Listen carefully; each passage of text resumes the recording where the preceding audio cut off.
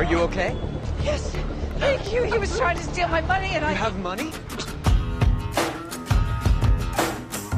Okay. Yes? If you want the shirt, it costs money.